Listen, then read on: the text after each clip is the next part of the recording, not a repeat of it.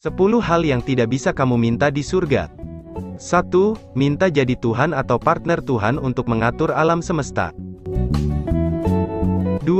Minta berbuat maksiat seperti syirik, mabok, zina, membunuh, mencuri memakan yang haram, dan lain sebagainya.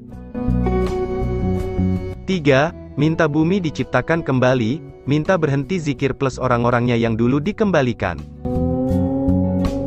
4. Poliandri, di surga para wanita semuanya bersuami satu, mereka tidak bisa minta tambah suami, poliandri haram di dunia dan akhirat.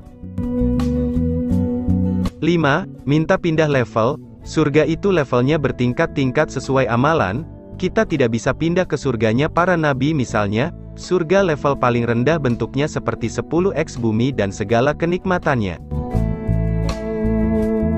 6. Minta agar Allah mengeluarkan dari neraka jika ada teman yang kafir atau salah satu keluarga yang masuk neraka. 7. Minta berhenti berzikir, di surga tetap ada ibadah yakni zikir dan penduduk surga hobinya zikir, mustahil mereka minta berhenti berzikir. 8. Minta untuk bertengkar dengan salah satu penduduk surga, di surga tidak ada orang bertengkar.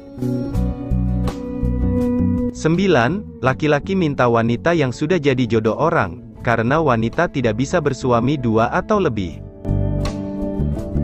10. Minta sesuatu yang bertentangan dengan kehendak Allah, misalnya minta para malaikat diuji seperti manusia, atau minta neraka dihilangkan. Itulah 10 hal yang tidak bisa kamu minta di dalam surga, semoga bermanfaat dan sampai jumpa di video selanjutnya.